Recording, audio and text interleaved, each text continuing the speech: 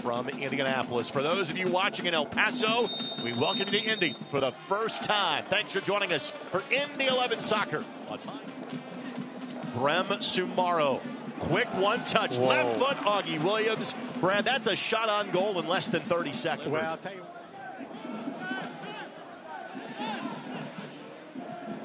Foster could not get there, but Augie Williams does. Has Romario Williams to his left. Slides it across, slots it home.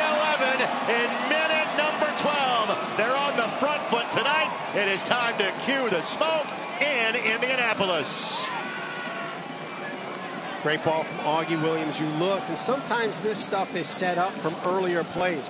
So they found Augie Williams in the box a couple times early in this match, and he's taken the shot. And so at that point, you know, wait, the defender, everybody has got to focus on Augie Williams. You look at everything collapsing around him. Romario pulls Augie Williams out of that wall, gives a little bit more. Bending here to save by Hunter Sulte.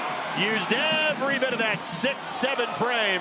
Did the native of Alaska. Won at the end of September, a 1-0 victory against the Indy 11 a season ago. It's a great ball.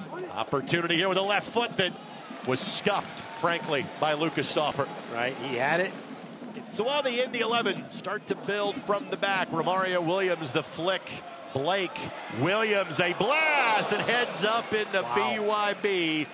Was not a shot on target, but one that uh, Williams, as in Romario, Augie Williams making a Route 1 Great run, ball. gets it to him in stride, one on none, and Williams missed it.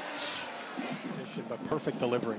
Rivas on the cross, but nobody sitting exactly back post. But Stanley didn't put that where he wanted to. Coronado Dang. not on target. Walsall over his English Football League career has played at four different tiers of the English football system. Speaking of a native Englishman, Jack Blake up against the back line, and Brim drops back into that spot like he's been trained to do it. Foster trying to find a window. There's one. Diving save by Jahmali Waite. Wow. Another on target blast from Blake. Both keepers now feel they may have robbed one. Able to shield him away from the ball. Blake finds Romario Williams, has Augie Williams, and has Foster to his right. Ball knocked forward. Foster could not get it past Waite. Wow. Another opportunity left the doorstep by the Indy 11 for El Paso, but literally a heads up play by Quinn squelched the opportunity for El Paso Locomotive. Again, you got Maalique on the backside. And Jack Blake saw it, and there is Foster. Foster this time maybe in more of a centering role. Nah, he'll score. Mike Great Foster goal. gets the goal, his first in Indy 11 uniform. There is the second goal for the Indy 11. Two goal advantage for the home squad. Great goal. Great find to push that ball out wide for him. For Foster, he had four tallies for the switchbacks before he made the move at the end of August. Again, he has been a part of the attack for the Indy 11 repeatedly.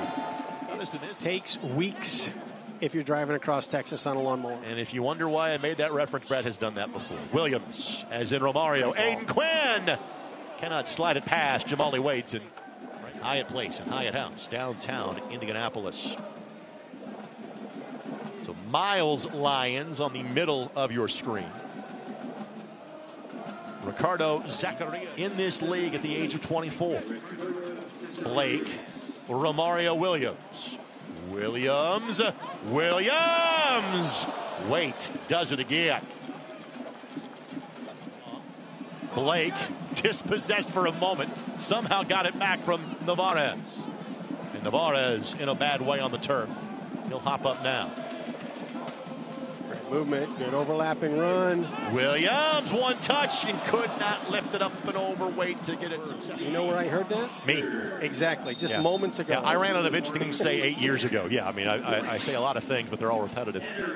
So Foster out, Martinez in, Maalique tremendous tonight. Elliot Collier down to the mix. My favorite line about Elliott this year from Coach McAuley if we don't know what Elliott is going to do, the other team doesn't know either. He's embraced that super sub roll. There's Cabrera left wow. foot. And Schultz again spoils it. Great job from Cabrera. Uh, Romario Williams does not connect. There's one. And this has been solid from top to bottom for the Indy 11. The header! And Elliott Collier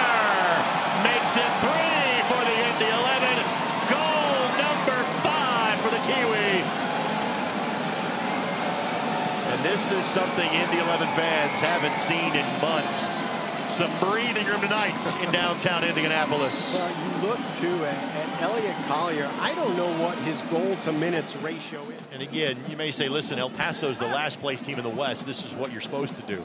And there would be some truth to that. But again, Indy has really struggled. Guenzatti! Didn't miss that by much. Well, you look, too, if Hunter Sulte doesn't make the save very much mathematically alive for one of those playoff spots. So that's a six point game. Not only do you get your three, but you rob somebody behind you of closing the gap on you. Giveaway by Hayden White. Opportunity, Calvillo. Hunter Sulte. clicked offensively. Right now, defensively, it's gone very, very well for you. Getting good numbers behind the ball. You're making it difficult. But the one thing you cannot have happen here is you want to keep the clean. And that does not happen before you can finish. Sheet. Sheet. Two E's. Zacharias with the goal, and it's now 3 1. And for El Paso, they had had that three match streak of not allowing a goal. It scored just one time. In fact, they had scored just once in their last four matches. And as we have talked about, just their 20th tally of the season. It is still an uphill climb, but they are one goal closer. Yeah, great build up, a couple of missed. Not enough in that.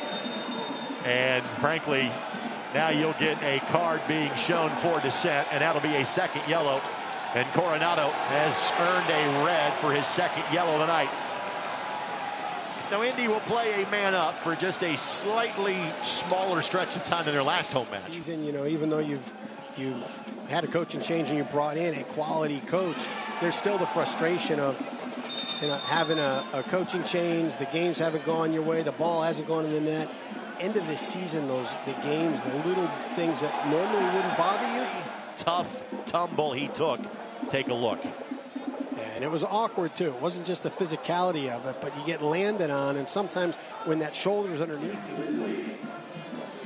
He only had one player that was nearing a yellow card situation. That was Callum Chapman Page. We can talk about that in two weeks because this one is in the past tense. This is one that the Indy 11 absolutely needed.